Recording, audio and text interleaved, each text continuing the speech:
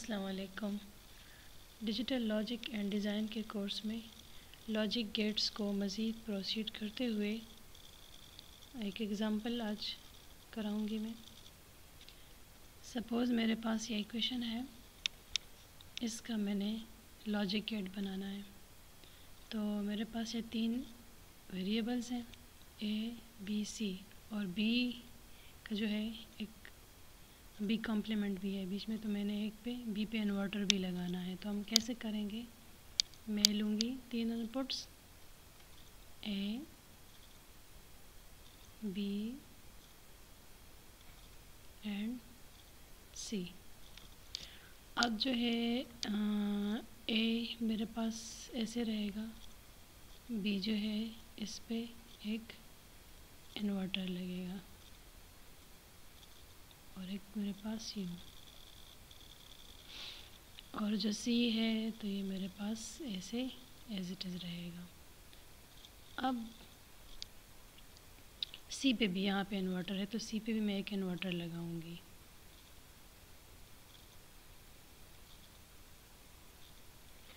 Okay okay. अब ये आ, मेरे पास जो फ़र्स्ट वन है ये तीन variables A B complement and C ये तीनों कनेक्ट हैं by OR gate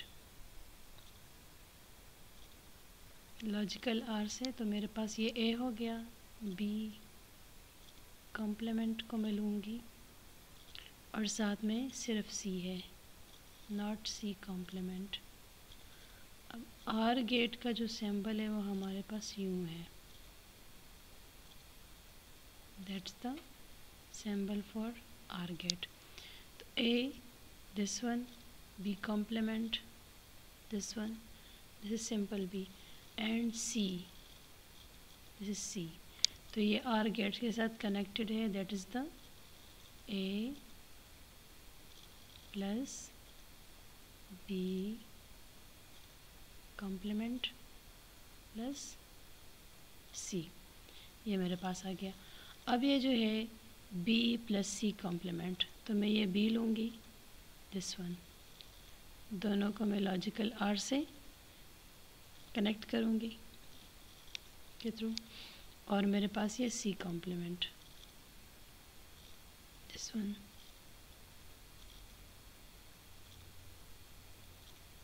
this तो ये मेरे पास बी प्लस सी कॉम्प्लीमेंट हो गया है. B plus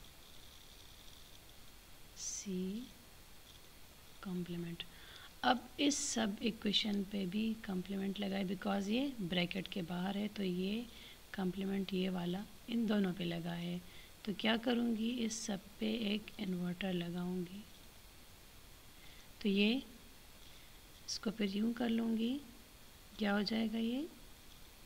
B plus C complement जो कि मेरे पास ये वाला था और ये होल कॉम्प्लीमेंट अब ये दोनों, ये वाला इक्वेशन और ये वाला कंबाइन होंगे बाय लॉजिकल एंड गेट जो कि डॉट के उस पर यहाँ पे जो डॉट है that will be for this we I will use the AND gate logical AND gate और ये एंड गेट का ये सिंबल है. दिस वन ये मेरे पास जो है, क्या गया? This whole equation and this whole equation multiply this one so the resultant gate will be A plus B complement plus C and sorry यहाँ पे डॉट यूज़ होगा। And B plus C complement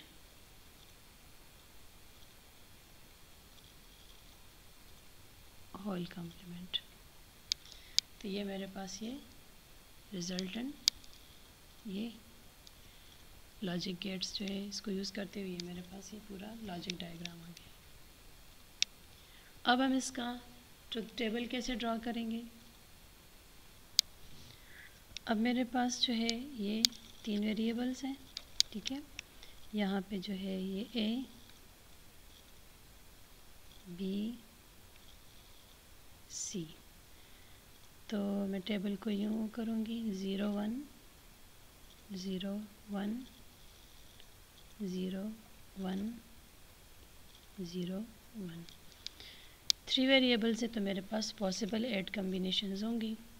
Double zero double one double zero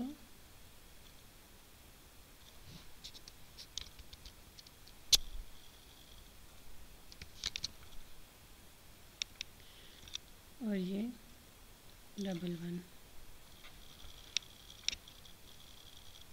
फिर four zeros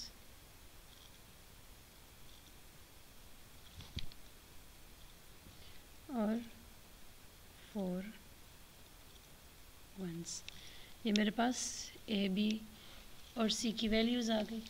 अब मैंने B prime calculate करना है और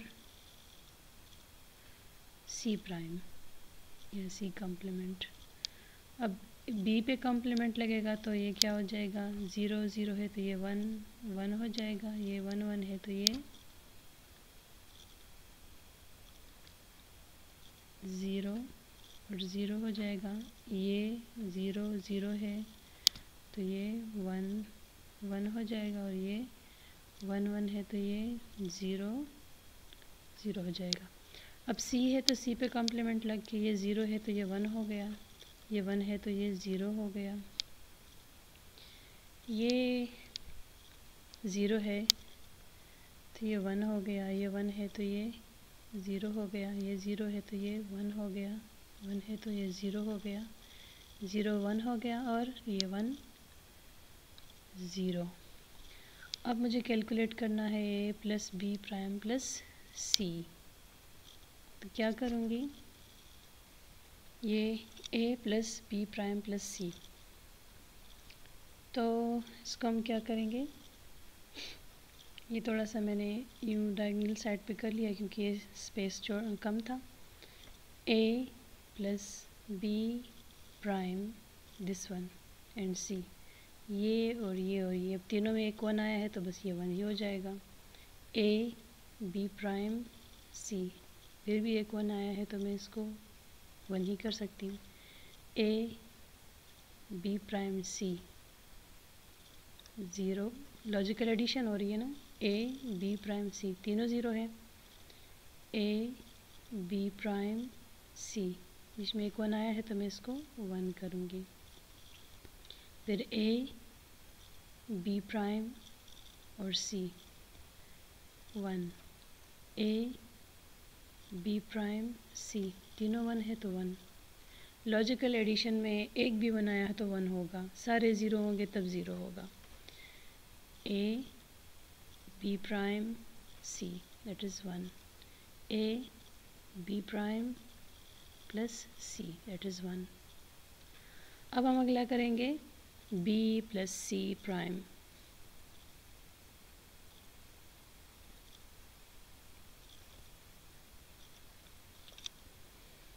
अब ये b प्लस सी प्राइम क्या हो जाएगा? B प्लस सी प्राइम ये वन है, एक भी वन आ गया तो बस वन हो जाएगा. बी प्लस सी प्राइम दोनों ज़ीरो है तो ये ज़ीरो हो जाएगा। बी प्लस सी प्राइम एक वन आया है तो बस ये वन ही होगा। बी प्लस सी प्राइम ये वन है तो बस ये वन ही हो जाएगा, क्योंकि बीच में एक वन इन्वॉल्व हुआ है। बी प्लस सी प्राइम फिर one B plus C prime ये है तो ये मेरे पास दोनों ज़ीरो है that will be zero B plus C prime दोनों वन है तो मेरे पास ये वन होगा. B plus C prime that is one अब मैं इसी का होल प्राइम लूँगी होल कम्प्लीमेंट लूँगी तो क्या हो जाएगा?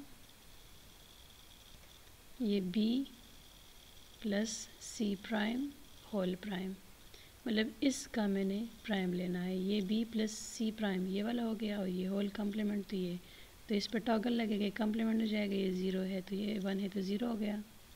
ज़ीरो है तो वन हो गया, ये ज़ीरो हो गया, ये भी ज़ीरो हो गया, ये भी ज़ीरो हो गया, ये वन हो गया, ये ज़ीरो हो गया। कम्प्लीमेंट होके ये टॉगल वैल्यू टॉगल हो जाती है ना।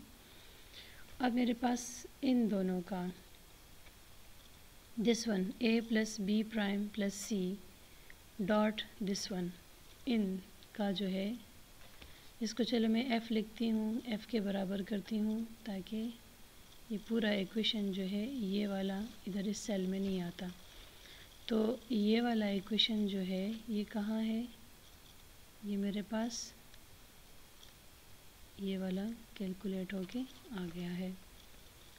ये इसका ट्रुथ टेबल और इसका जो है, इसका जो है, ये मेरे पास ये है।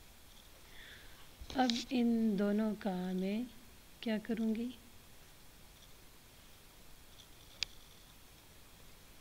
मेरे पास ये वाली ये, वाला है ये वाला ये इधर आ गया और ये मेरे पास इधर आ गया। अब इन दोनों का इन दोनों का मैं क्या करूँगी?